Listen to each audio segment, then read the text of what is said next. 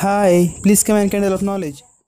Assalamu alaikum my dear brother and sister my name is Rahim and you are watching Candle of Knowledge जी दोस्तों, आज हम सीखने वाले हैं कंडीशनल सेंटेंसेस क्या होते हैं कंडीशनल सेंटेंसेस इसकी टाइप कौन कौन से होते हैं? आज हम इसी वीडियो लेक्चर में यही सीखने वाले हैं।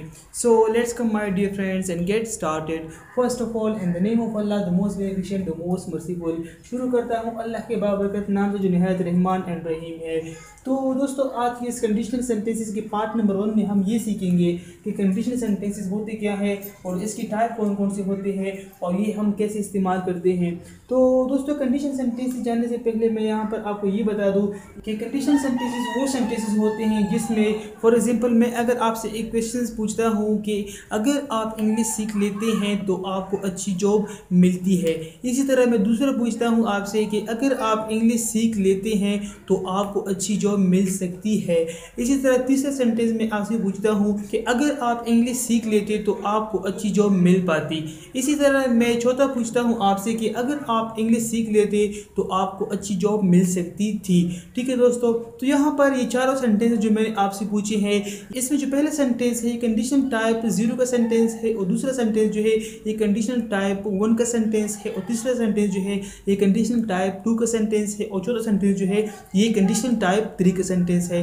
ये condition type one type two type three ये क्या होते हैं? तो दोस्तों, आज इसी वीडियो लेक्चर में हम यही सीखने वाले हैं। दोस्तों, यहाँ पर मैं आपको ये बता दूँ, यहाँ पर जो कंडीशन सेंटेंसेस होते हैं, ये इसी तरह होते हैं कि अगर ये होता तो ये हो सकता था। अगर वो बाज़ार चला जाता तो वहाँ से वो मेरे लिए कपड़े ला सकता था।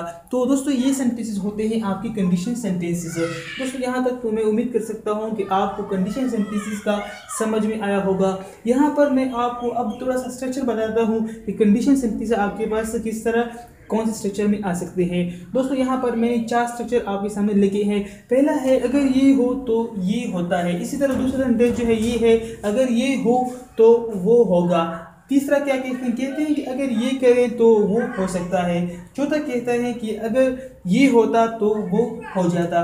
दोस्तों, ऐसे ही सेंटेंसेस आपको मिलते हैं कंडीशन सेंटेंसेस में। तो दोस्तों, अब टाइप्स की बात आती है। जैसे कि मैं आपको बताया condition type zero condition type one condition type two और कंडीशन टाइप थ्री के सेंटेंसेस तो दोस्तों, ये होते हैं कंडीशन टाइप के सेंटेंसेस और इसकी क्या है, ये आपके पास टाइप्स कहलाते हैं।